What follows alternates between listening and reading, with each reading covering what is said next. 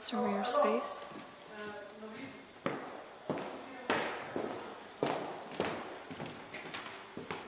One windowed office, second windowed office.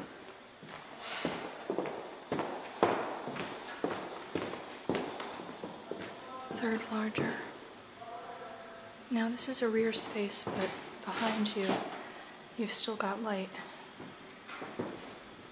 Tenant controlled HVAC, and then one interior room built here for conference or workspace or whatever.